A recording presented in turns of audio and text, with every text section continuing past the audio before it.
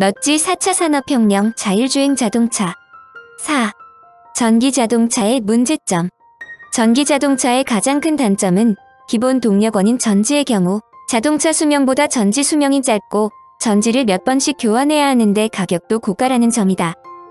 이 문제가 얼마나 중요한가는 2019년 노벨 화학상은 휴대전화와 랩톱 컴퓨터, 전기차 탄생의 1등 공신인 리튬이온 배터리를 개발한 존 구디너프 미국 텍사스대 교수와 스탠리 휘팅엄 미국 뉴욕 주립대 교수 요시노 아키라 일본 아사히 가세이 명예연구원 겸 메이조대 교수에게 돌아갔다는 점으로도 알 수 있다.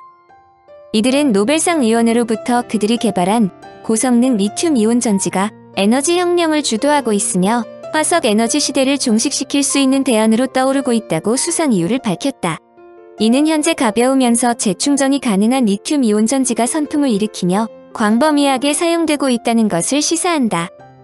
특히 리튬 이온 전지가 스마트폰에서 휴대용 컴퓨터, 전기차에 이어 태양 풍력 에너지 저장 등에 이르기까지 광범위하게 사용되면서 화석 에너지를 대체할 수 있는 새로운 에너지 혁명을 주도하고 있다는 점에 큰 방점을 찍었다.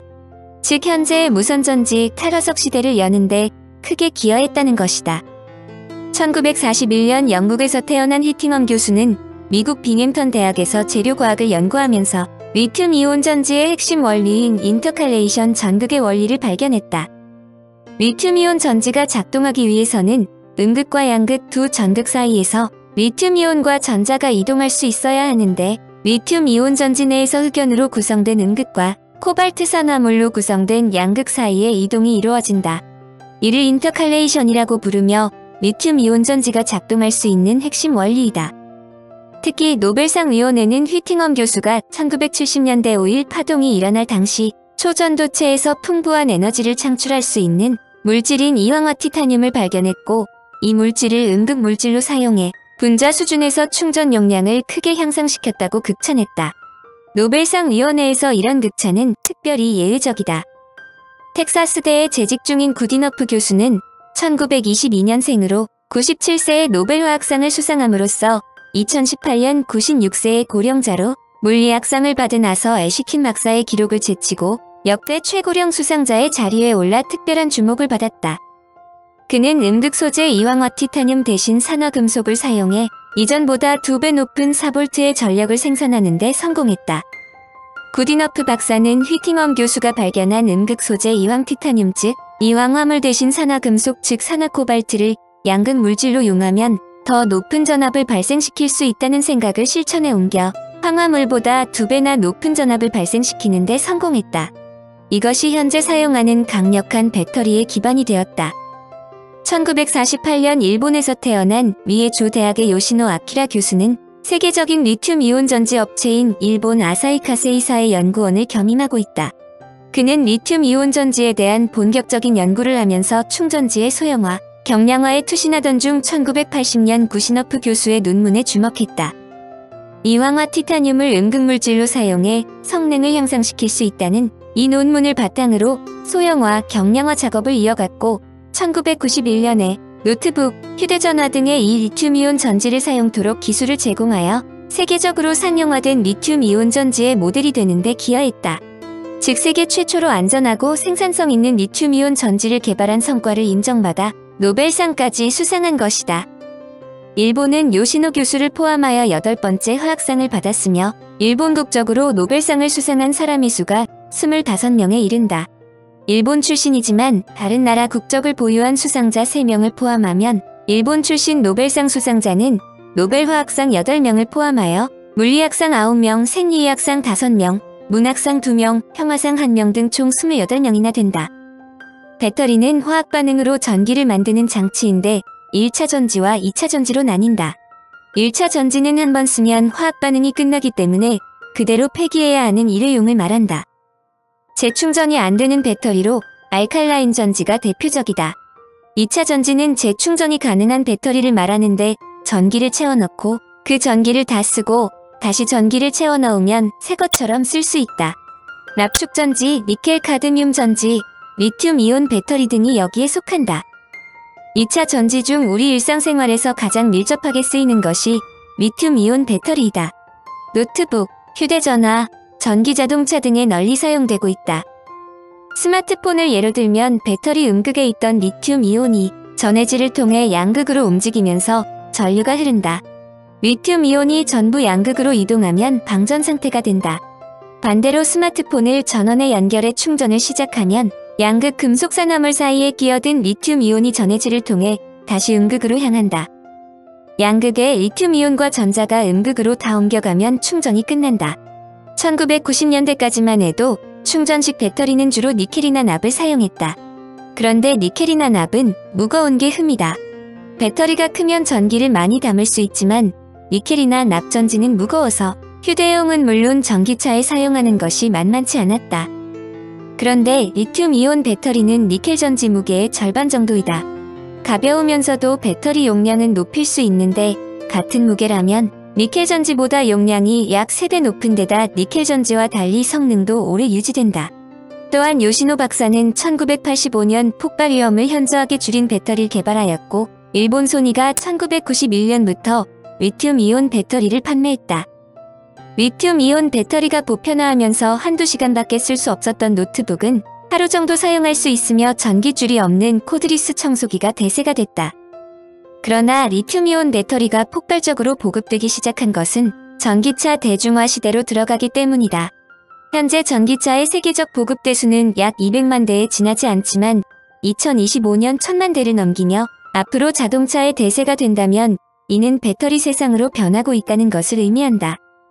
현재의 기술로 볼 때 일반 가솔린 자동차에 비해 속도가 느리고 배터리 1회 충전으로 주행할 수 있는 항속거리가 짧으며 충전 시간이 오래 걸린다는 것이 큰 걸림돌이다.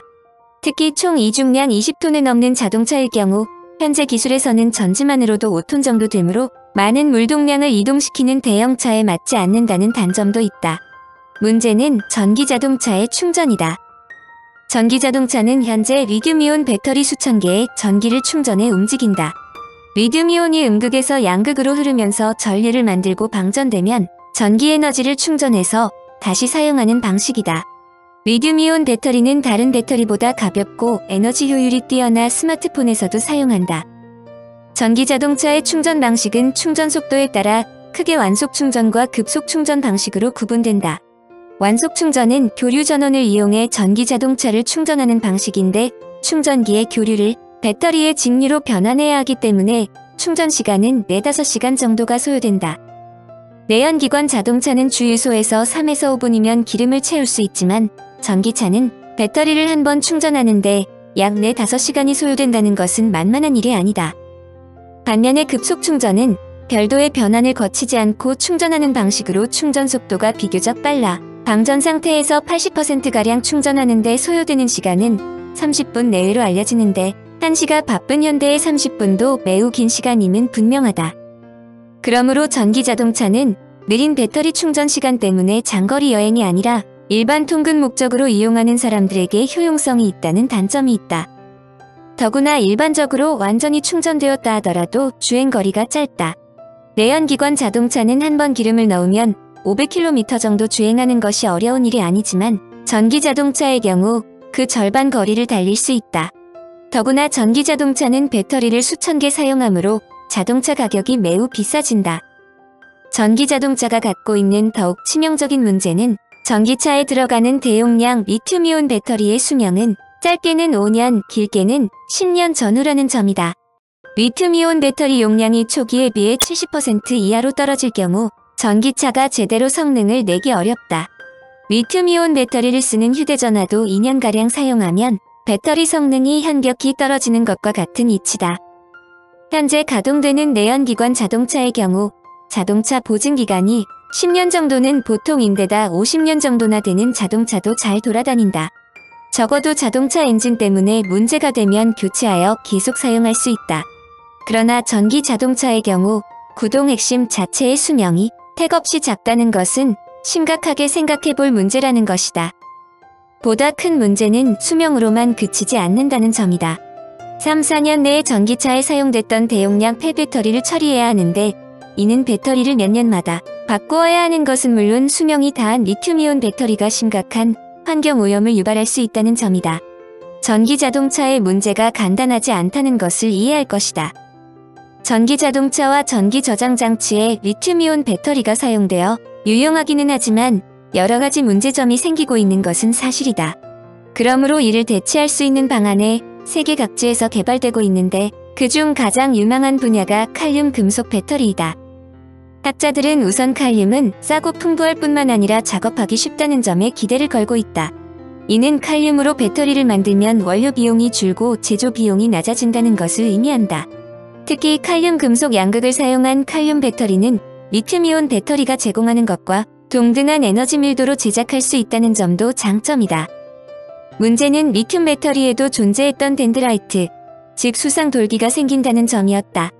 시간이 지남에 따라 배터리가 충전되고 방전되면서 리튬 배터리나 칼륨 배터리 모두 금속 조각들이 양극에 달라붙게 되는데 마치 나무장가지 같은 덴드라이트가 형성되는 것이다. 이 같은 현상은 고르게 일어나지 않는다. 덴드라이트가 많아지면서 양극과 음극을 분리하는 절연막을 뚫고 들어갈 만큼 길어지게 되고 이후에는 배터리가 합선된다. 이 같은 부작용은 열을 축적시키면서 때때로 화재를 야기하고 배터리 수명을 단축시킨다. 리튬이온 배터리는 다른 전지에 비해 가볍고 높은 에너지 밀도를 가지고 있어 고용량과 고효율의 구현이 가능하므로 현재 우리 생활에 없어서는 안될 에너지 저장 매체로 자리 잡았다. 그러나 2016년 국제 엠네스티에 대형 폭탄이 터졌다. 리튬이온 배터리의 원재료로 이용되는 코발트가 그야말로 비인권적인 상황에서 생산된다는 것이다. 상당수 코발트가 안전장비도 없이 맨몸으로 콩고에서 생산되고 있는데 이 위험한 채굴에 무려 4만 명의 아이들이 동원되었고 하루 12시간 동안 고된 일을 하는데 하루에 받는 돈은 고작 1달러에 불과했다. 현재 전 세계의 수많은 지구인들이 현대 문명의 총화로 인한 최신 기술의 혜택을 누리고 있지만 그 제조 과정이 만만치 않은 문제점을 만들고 있다는 것이다. 이 문제는 애플, 삼성전자, 델, 마이크로소프트, 르노, 테슬라 등의 대기업들에도 관계되는데 이런 현대인들의 물질적 혜택이 껄끄러운 문제점과 연관되어 있다는 것은 앞으로 지구인들이 풀어야 할 화두임은 물론이다. 미국 뉴욕주 렌셀러 공대 니킬 코라트카르 박사는 밤새 배터리를 충전할 때 양극의 덴드라이트를 청소할 수 있는 자가치유 기술을 개발했다고 발표했다. 한마디로 자가치유 기술로 덴드라이트가 문제를 일으킬 만큼 많이 축적되는 것을 방지할 수 있다는 것이다. 이를 활용하면 값싸고 수명이 긴 칼륨 금속 배터리를 대량으로 사용하는 것이 가능하다는 뜻이다. 배터리는 한쪽 끝에는 음극과 다른 쪽 끝에는 양극이 있다. 리튬이온 배터리 안을 들여다보면 일반적으로 리튬 코발트 산화물로 만든 음극과 흑연으로 만들어진 양극을 발견할 수 있다. 충전과 방전 중에 리튬이온이 이 두 전극 사이를 왔다 갔다 하는데 코라트카르 박사는 흑연 양극을 칼륨 금속으로 대체함으로써 칼륨의 성능을 높였다는 것이다. 이 연구가 주목받은 것은 과거 자가치유 기능을 가진 리튬 금속 배터리가 등장했지만 많은 열을 필요함으로 문제가 제기되었는데 칼륨으로 대체함으로써 이 문제를 해결할 수 있었다는 것이다. 학자들은 배터리 문제는 하루가 달리 바꿀 정도로 많은 연구자들의 총력전의 대상이므로 어느 방법이든 근간 좋은 결실이 등장할 것으로 생각한다. 청취자에게 원하는 것은 1. 구독 2. 좋아요